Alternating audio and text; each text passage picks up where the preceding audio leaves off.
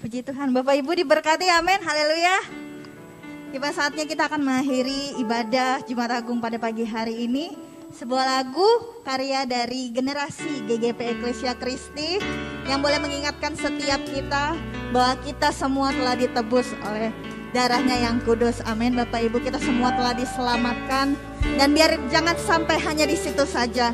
Bukan kita saja yang selamat, tapi kita rindu. Penuaian boleh terjadi sampai setiap lutut boleh menyembah Yesus Tuhanku.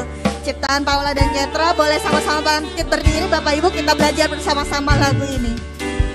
Engkau, engkaulah Tuhanku.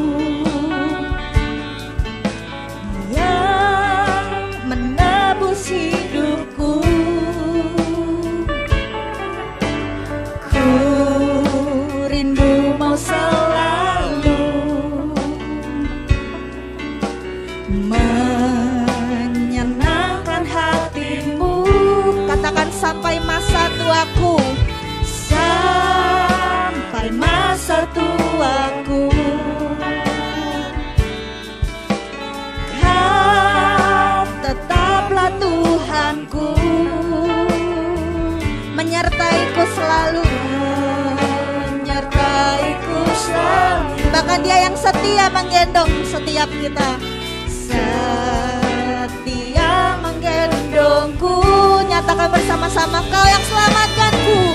Ah.